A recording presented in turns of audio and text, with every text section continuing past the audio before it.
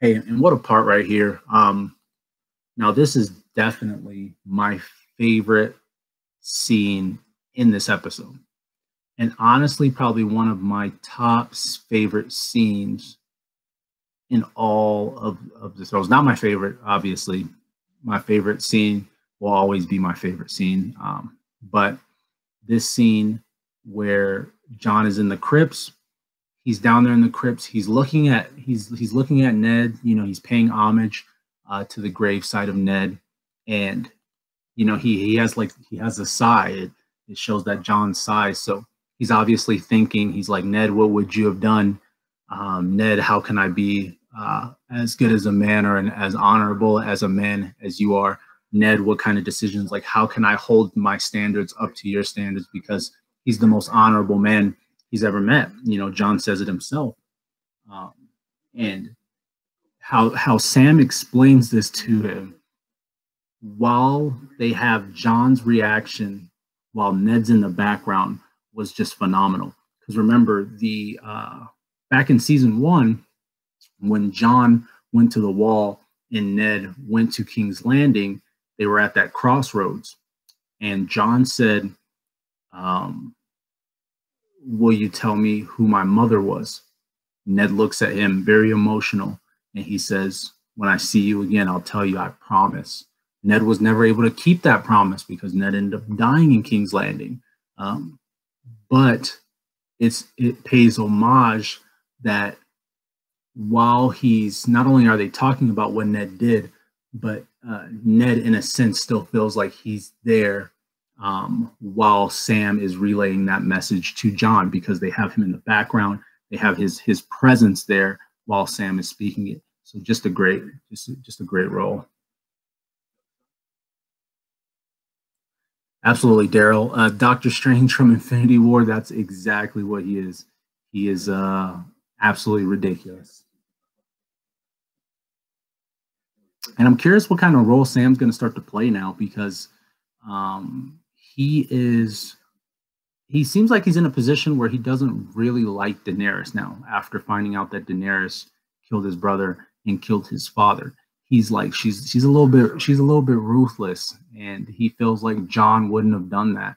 Um, so um, I'm curious uh, how much more of a role Sam's going to kind of play when it comes to the the whole Game of Thrones aspect. If he's going to take sides with Daenerys or if he's going to try to figure out uh, ways to convince Jon to uh, not take Danny's side. And look how Sam tells him, You've always been.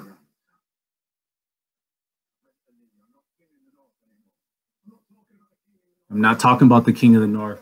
I'm talking about the King of the Seven Kingdoms. And then that music plays.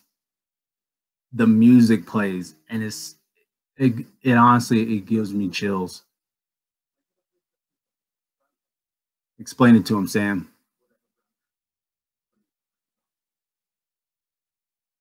Mike says, nah, he's upset about it, but he'll get over it because it is war.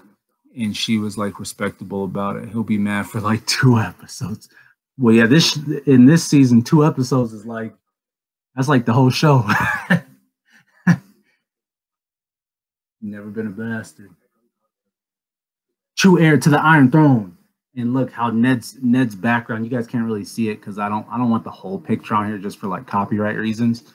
But like you just see Ned's uh, Ned's shadow in the background while Sam is telling him that.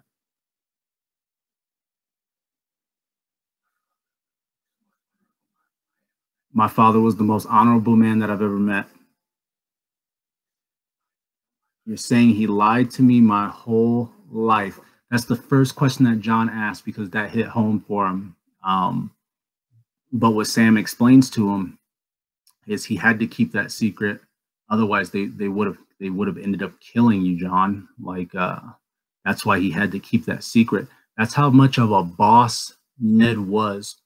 Ned put his honor aside for honor, essentially. It's kind of like Vin Diesel in uh, what Fast and Furious Eight the only thing that can stop him from saving his family is family.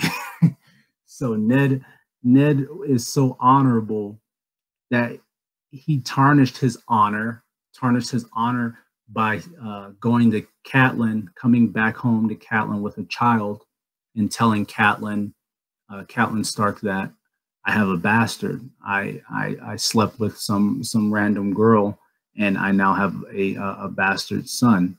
Um, and he, him being such a great honorable man, he he he tarnished his honor, um, and he lied to his wife, and he lied to his family, and he lied to everybody else to keep the original honor that he uh, originally uh, made when uh, Lyanna was dying in her deathbed. Um, so I mean, it was you know Ned was Ned was a uh, galactic brain. He was a uh, big brain. He's he's he's way ahead of everybody.